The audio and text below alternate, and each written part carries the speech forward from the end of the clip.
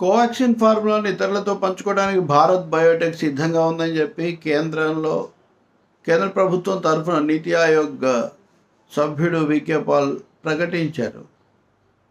అసలు ఇది ఇప్పుడు కాదు ఏప్రిల్లోనే దీనికి సంబంధించి నిర్ణయం జరిగిందని తెలుగు మీడియాతో సహా చాలా కథనాలు బీజేపీకి అనుకూలంగా వచ్చాయి. అసలు ముఖ్యమంత్రి జగన్మోహన్ రెడ్డి లేఖ రాసినందుకే ఇది జరిగిందన్నారు. వాస్తవానికి ప్రజా వైద్య ఉద్యమం కానివ్వండి లేకపోతే ప్రత్యామ్నాయ వైద్యం కోరే శక్తులు వీళ్ళందరూ చాలా రోజులుగా ఈ వ్యాక్సిన్లను పబ్లిక్ సెక్టార్కు ప- ప్ర- ప్రభుత్వ రంగానికి ఇవ్వాలి అలాగే విస్తృతంగా ప్రైవేట్ సంస్థలకు కూడా ప్రోత్సాహం ఇచ్చి తయారు చేయించాలి. ఆ విధంగా ఎక్కువ మందికి తొందరగా అందుబాటులోకి రావాలి అని చెప్తూ వచ్చారు. ప్రధాని స్వయంగా చొరవ తీసుకొని వీళ్ళని ప్రోత్సహించటము మనకు తెలుసు వెంకయ్య నాయుడు ఉపాధ్యక్షుడు కూడా సమావేశమైన తీరు అవన్నీ కూడా మనం చూసాం ఐసీఎంఆర్ సహకరించింది భారత్ బయోటెక్కు అనే అప్పుడు అందరు కూడా చెప్పారు. ఆ విషయం పక్కన పెడితే మేము సిద్ధంగా ఉన్నాము ఇతరులతో పంచుకోవడానికి అని భారత్ బయోటెక్ చెప్పకుండానే కేంద్ర ప్రభుత్వం తరఫున వికే పాల్ ప్రకటిస్తారా? ఇప్పుడు అంతా అయిన తర్వాత మళ్ళీ బయోటెక్ భారత్ బయోటెక్ యాజమాన్యం వచ్చి ఇది పూర్తిగా మాకే సొంతం మేము దీన్ని పంచుకుంటాము ఫార్ములా పంచుకుంటామని మేము ఎప్పుడు చెప్పలేదు అని చెప్పడము చాలా ఆశ్చర్యం కలిగిస్తుంది. అంటే ఇందులో ఎవరో ఒకరు అవాస్తవం చెప్తూ ఉండాలి. అంటే ప్రజల్లో వస్తున్న ఆగ్రహం దృష్ట్యా ప్రభుత్వం తప్పు చెప్పిందా? లేక వీళ్ళు అప్పుడు ఒప్పుకొని కూడా ఇప్పుడు మాట్లాడుతున్నారా? మాకేం సహాయం చేయలేదు. ఓ కరోనా స్ట్రెయిన్ ఇవ్వడానికి మటుకే మేము ఐసీఎంఆర్ సహాయం తీసుకున్నాం. అది చిన్నదా? అలాగే పరి టెస్టులు పరీక్షలు చేయడంలో కూడా సహాయపడిన సంగతి మనకందరికి కూడా తెలుసు. మూడవది అసలు ఒక మానవతా దృక్పథం కూడా ఇందులో ఉండాల్సిన అవసరం ఉంది కదా. లాభాలు లేకపోతే నష్టపోండి అని ఎవరు చెప్పరు.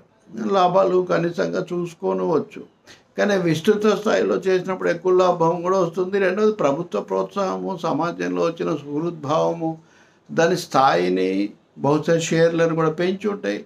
ఇదంతా అయిన తర్వాత ఏకపక్షంగా ఇది కేవలం మాదే దీన్ని పంచుకోవడానికి మేము సిద్ధపడడం మేము సిద్ధంగా లేమని ఒక అడుగు వెనక్కి వేయటం అన్నది చూస్తే అంటే ప్రభుత్వం యొక్క వ్యాక్సిన్ విధానము అనుమతించేటప్పుడు ఇదంతా ఎంత అస్తవ్యస్తంగా జరిగింది అనేది రుజువు అవుతుంది. రెండవది అసలు ముందే మేము దీని మీద వాళ్ళతో అవగాహనకు వచ్చాము.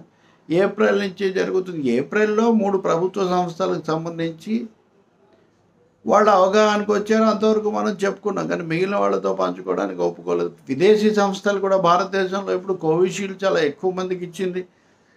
అది బ్రిటన్లో తయారైనటువంటి ఆస్ట్రాజెనికా ఆక్స్ఫర్డ్ వాళ్ళది కదా అది ఇక్కడ తయారు చేయట్లేదు. అటువంటి అప్పుడు భారతదేశంలో మనము పేటెంట్ హక్కులు కూడా తగ్గించి వ్యాక్సిన్లు అందరికీ అందుబాటులోకి తేవాలి అందరు కూడా ఉత్పత్తి చేసే పరిస్థితి రావాలి అని భారతదేశం అంతర్జాతీయంగా వాదిస్తుంటే ఇక్కడ తయారైనటువంటి వ్యాక్సిన్ను ఇక్కడి వాళ్ళతో పంచుకోవడానికి కూడా ఒక సంస్థ వెనక్కుపోవటం అన్నది ఎలాంటి పరిస్థితిని సూచిస్తుంది? ఈ విషయంలో ప్రభుత్వానికి ఏం అదుపు లేదా? రెండవది దేశాన్నంతా సిద్ధం చేశారు కదా వాళ్ళ వ్యాక్సిన్లు వస్తాయని. ఇప్పుడు వాళ్ళ వాళ్ళు చేయడానికి ఏమో చాలా పరిమితులు ఉన్నాయి వాళ్ళేమో ఇతరులకు ఇవ్వమంటున్నారు. దీనికి ప్రభుత్వం ఏం పరిష్కారం చెప్తుంది? ఇది చాలా తీవ్రమైన సమస్య. దీని గురించి బహుశా ఈపాటికి వివరణ వచ్చిండాలి కనీసం రేపైనా వస్తుందేమో మనం చూద్దాం. మూడవది ఈ వ్యాక్సిన్ ఎంపైర్ను కొద్దిమంది చేతుల్లోనే ఉన్నంత వరకు కూడా ప్రజల ఆరోగ్యానికి భద్రత రక్షణ ఏమి.